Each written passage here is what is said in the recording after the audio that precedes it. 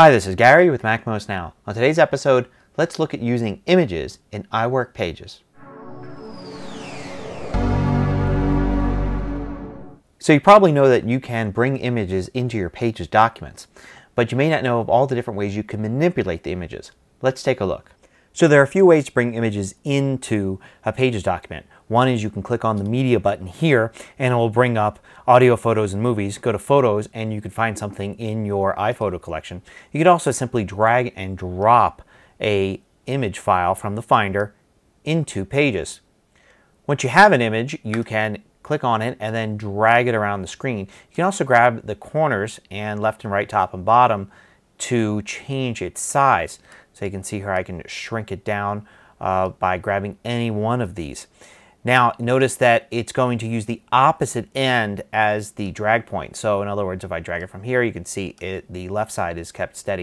If I drag it from here, the bottom left corner is going to be steady. If I hold the Option key down and drag, it will do it by the center instead. And actually, I can hold and release the Option key while dragging to either have it be the opposite side or the center, now to rotate an image, you simply hold the Command key down while over one of the drag points here. And now you can rotate it around. And it will rotate around the center unless you also, in addition to holding the Command key, hold the Option key down. And then it will rotate it around the opposite point from which you're dragging. And I'll show you the amount of rotation in degrees there right on the screen. Now with an image selected, you can do a lot of this also with the inspector.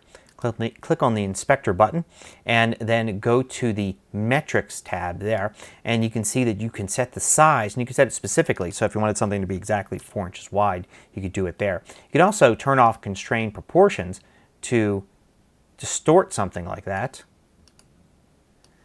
and you can also click on original size to have it revert back to its original. You can then go and change its position exactly or rotate it using this down here. You can also set an exact angle of rotation. And this is also where you would say flip an image either horizontally or vertically. Now we can also use the inspector for some special effects. Click on the graphics tab instead. And one of the things you can do here is set a border. So we can do a line and set a color and a style for the line and the size for it. You can also choose a special picture frame and choose from one of many different ones here. There's also the option to add a drop shadow, change lots of properties of the drop shadow itself. Or you could also go to reflections and add this reflection that you see a lot used in Mac OS X. You can also change the opacity of the entire image, make it semi-transparent. Another thing you can do with the inspector is go to the wrap section and you can set how text wraps around the image. You can have it uh, floating over everything or wrapping in line with the text. Uh, lots of different options here. Now say you want to crop the image. Well, you do that by applying a mask. So go to Format and Mask with the image selected. And what will happen here is you get a rectangular area that you can change to only show a portion of the image. So we can just center in on the face here. I can move the image around. And I could also zoom in or out uh, on the image right there. If I click Edit Mask, it'll just show that one portion there. And now I can return to actually moving the image around as before. Click on Edit Mask again, and now I'm actually adjusting the mask of the image. Now you can also mask with the shape. Go to Format, Mask with Shape, choose a shape, say an oval here, and now we get the same basic options except instead of rectangle, we've got an oval. Now another way to do that is simply to create the shape first using the shape command here from the top. Once you create the shape, you can drag an image into it. And now you see you get that same edit mask, uh, you know, a box right here, and you can move it around and basically end up with the same thing you had doing it the other way. You can also align an image by using control click or right click and selecting align objects. And you can do left, center, right, middle, top, bottom. And if you have more than one object selected at a time, you can distribute objects as well.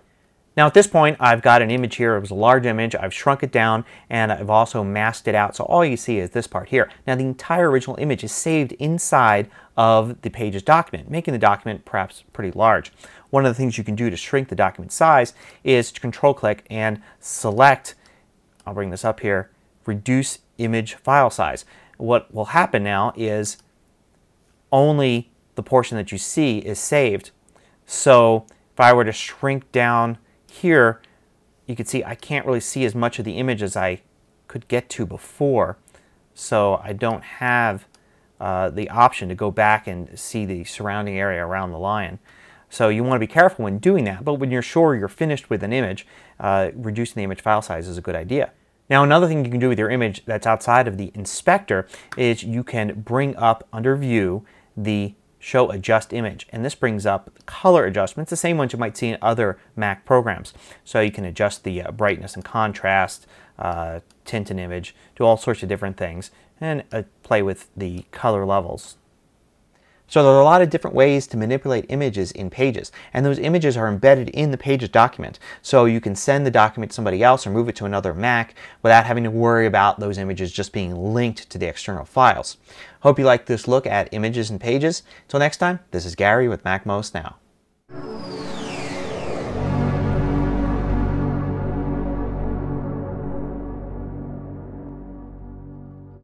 Want more video tutorials? Just go to MacMost.com, click on the videos link at the top of the page, and then you can view all of the hundreds of MacMost videos by category.